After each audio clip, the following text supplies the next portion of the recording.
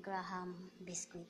Yan. Ang gawin natin, pinuin natin yung ating Graham na biscuit, tapos ilagay natin yung ating butter.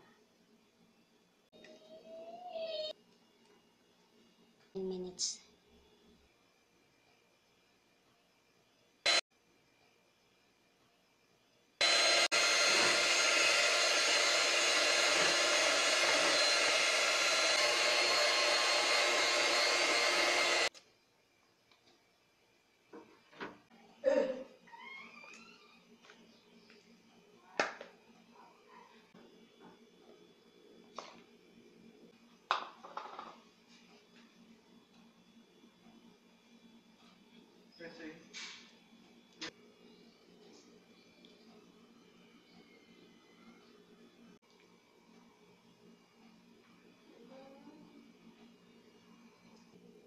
Lagay na po natin sa freezer.